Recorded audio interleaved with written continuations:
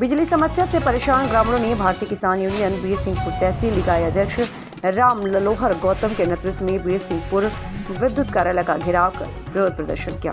सभापुर थाना प्रभारी निरीक्षक एसपीएस चंदेल की समझाइश के उपरांत ग्रामीणों ने कनिष्ठ यंत्री को ज्ञापन सौंपा और समाप्त किया और 10 दिवसीय मांगे पूर्ण न होने पर चक्का जाम करने का चेतावनी दिया। इस दौरान कानून व्यवस्था के मद्देनजर दर्जनों पुलिसकर्मी भी तैनात रहे।